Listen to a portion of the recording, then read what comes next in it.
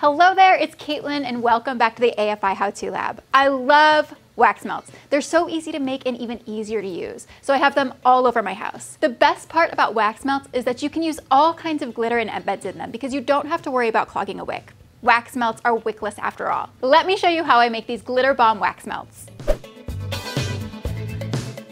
So for this how-to, you're gonna need a mini ice cube tray or any kind of mold with cavities small enough to make embeds that will fit into your clamshell mold. As you can see, the little cube shapes in this mold are tiny, making them perfect to make embeds for our regular size clamshells. These guys. I'm starting off by making my embeds. For every component of these melts, I'll be using a Pro Blend 600 Parasoy wax. It's super smooth and somewhat sticky, which will make it perfect for what I'll be doing with the embeds. So start by melting down about an ounce of wax. You don't need a whole lot of it. Heat it up over a double boiler until it's completely liquid and then remove it from the heat.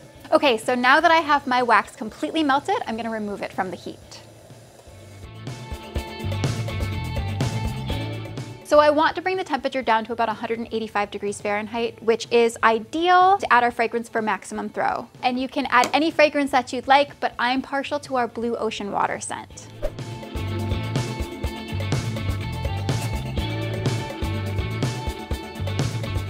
Stir for at least a minute and then you can add your colorant. I'm going to be using some blue dye chips to match our fragrance. Give it a stir until the dye chips melt into the rest of the wax. One last final touch, the glitter. You can use just about any kind of glitter that you want for this step, but I'm using a little bit of mica mixed with craft glitter for a super sparkly pop. Stir the glitter in well, and now we can pour the embeds. Just fill as many mold cavities as you can with the wax. As you can see here, I just pour it right in the middle and I let the wax just spread out on its own. Okay, so once these are cooling, I can set these aside and grab the clamshell molds.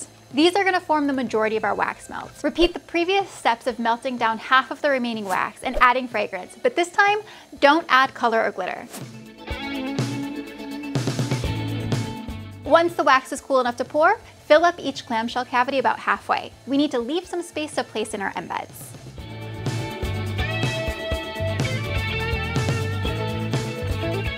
Okay, so now I'm gonna let these cool and we're gonna return to our embeds. Okay, so they've cooled completely. I put them in the freezer for a minute and now I'm gonna pop them out. You just kind of break it just like an ice cube.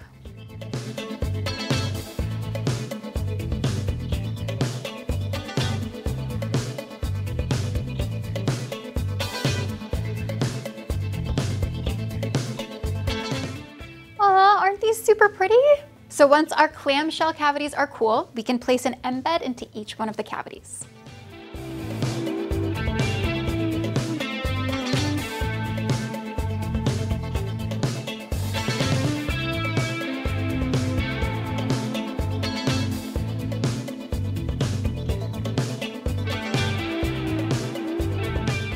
So now that we have the embeds in our cavities, we're gonna melt down the other half of our wax and add fragrance.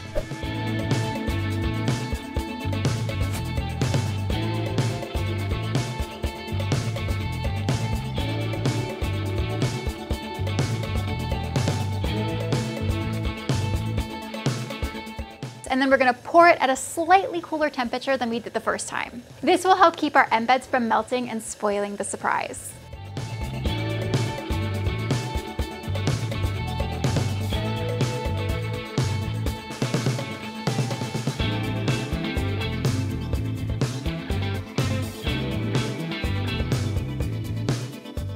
Awesome, so I'm just gonna let this last layer cool and then they'll be done. Okay, so I know these don't look like much now, but when you place them into a wax warmer, they will reveal their sparkly insides. These melts are so much fun to make with all kinds of custom colors and scents.